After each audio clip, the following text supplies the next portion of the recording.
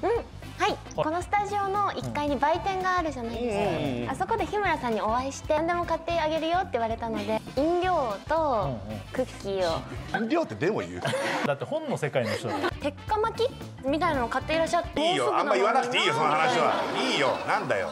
買ってないよ。帰りに。買ってないよ。サラダ的なやつだろ？日村さんはそういういの禁止されてるからそういう。ごやだから食べてないってことよ。確実に見ました。サラダさっきからお前お前なん敵かさっきからネギトロ巻き買う人いないお前なんだお前。一回サラダって言ってよ。一回お願いだから。一本の。